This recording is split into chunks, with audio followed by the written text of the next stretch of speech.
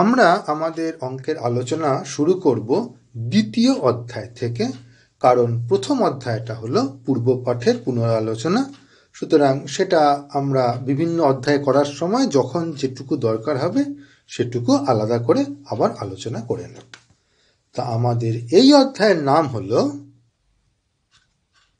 অনুপাত।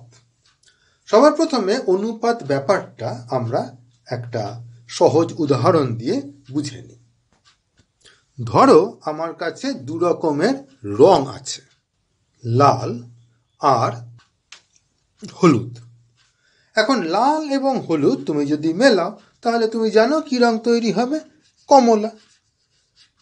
এখন লালটা যদি একটু বেশি হয়, তাহলে কমলাটা লালচে কমলা হবে, হলুদটা বেশি হলে একটু হলদে কমলা হবে। তা আমরা একটা বিশেষ ধরনের কমলা করতে চাই, তার জন্য আমরা দেখেছি যতটা এখানে লাল নিয়েছি, ঠিক তার ডবল হলুদ নিলে সেই বিশেষ কমলা রংটা হয়। তো এটা তো ছোট্ট ছোট্ট পাত্রে করা হয়েছে। এইবার কদিন পরে তোমার এই রংটা অনেকখানি দরকার হলো। তখন তো আর তোমার এইটুকু পাত্রের রঙে চলবে না, তখন তুমি একটা বড় পাত্র ভরা লাল রং নিলে। এখন প্রশ্ন হচ্ছে, এর সাথে তুমি কতটা হলুদ মেলাবে? তুমি লালের রংটা বাড়িয়েছ, তুমি যদি হলুদের রংটা না বাড়িয়ে এই হলুদের সাথে এই লালটা মেলাও, তাহলে তো বুঝতেই পারছ কি হবে, পুরো কমলাটা লাল হয়ে যাবে। তার মানে তোমাকে হলুদটাও বাড়াতে হবে। কীভাবে বাড়াবে? ভেবে দেখো, এই কমলাটা করার জন্য যতটা লাল দিতে হয়, তার ডবল হলুদ দিতে হয়।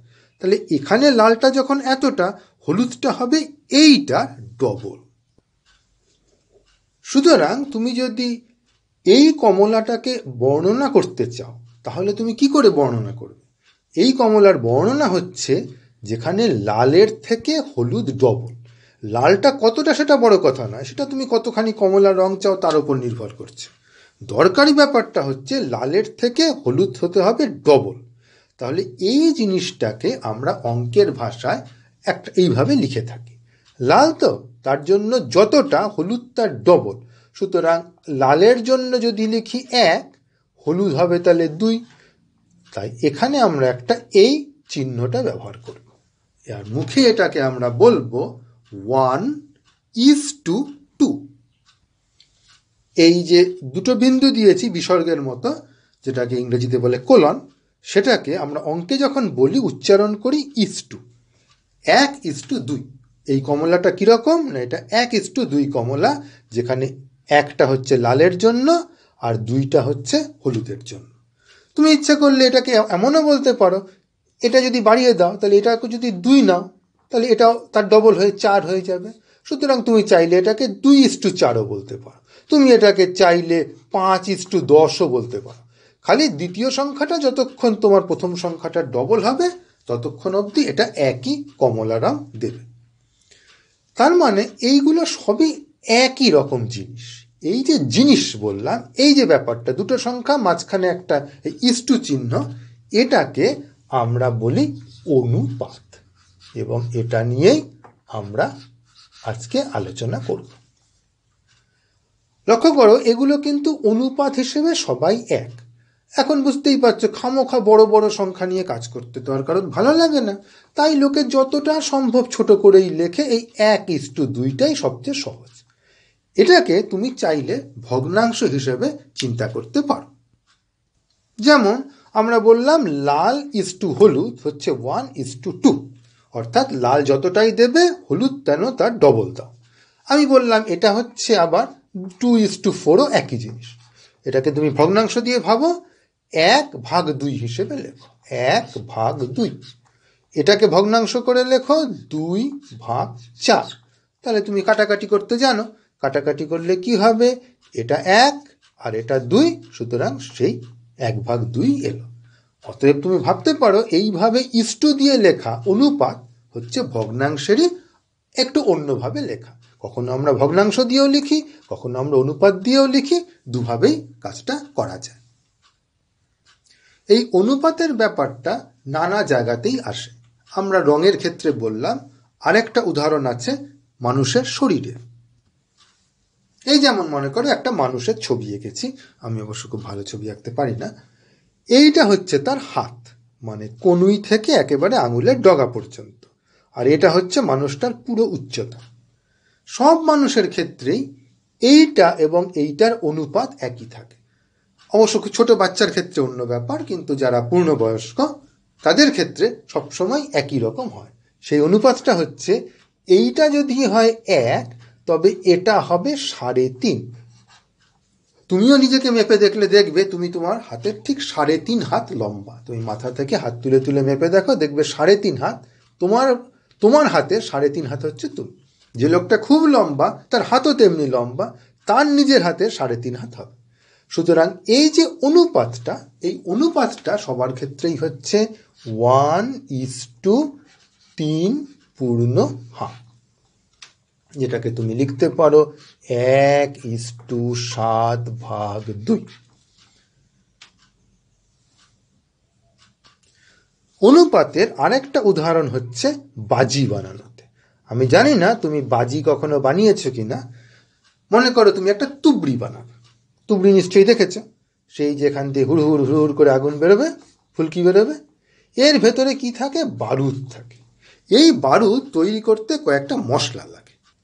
তার তিনটে প্রধান মশলা হচ্ছে গন্ধ, কাঠকয়লা এবং সোড়া। সোড়া একটা নুনের মতন জিনিস।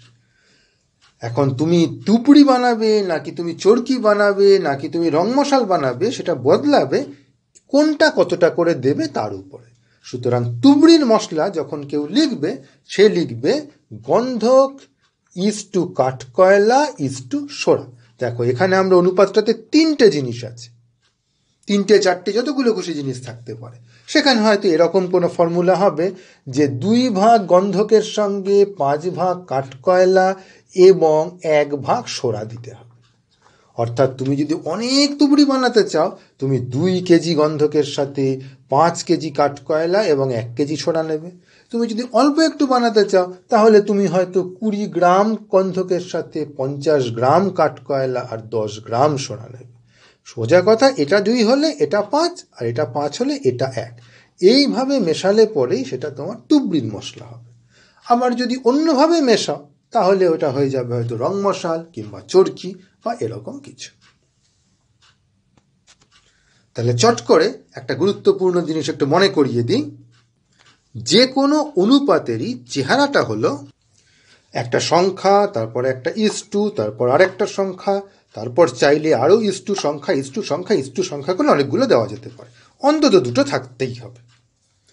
এবং তুমি যদি এই সবগুলো সংখ্যাকেই একই জিনিস দিয়ে গুণ বা ভাগ করো, তাহলে অনুপাতটা বদলায় না। যেমন, যদি আমি নিই দশ ইস্টু পঞ্চাশ ইস্টু তিরিশ, আর আমি সবাইকেই দুই গুণ করি, তাহলে এটা হয়ে যাবে কুড়ি ইস্টু একশো ইস্টু ষাট। অনুপাত হিসেবে এটাও যা, অনুপাত হিসেবে এটাও তাই। এটাও তুবড়ির মশলা হলে এটাও তুবড়ির মশলা, খালি এতে ডবল পরিমাণ তুবড়ি তৈরি হবে। চাইলে আমি এগুলোকে এগুলোকে ভাগও করতে পারতাম। আমি এটাকে দশ দিয়ে ভাগ করে one is to five is to three লিখতে পারতাম। তাহলে আমি বলতাম এটাও একই অনুপাত। এখন তুমি নিশ্চয়ই তুমি নিশ্চয়ই মানবে যে এইটা সবচেয়ে সহজ দেখতে। কারণ সংখ্যাগুলো সবচেয়ে ছোট ছোট আর কাটাকাটি করা যায় না।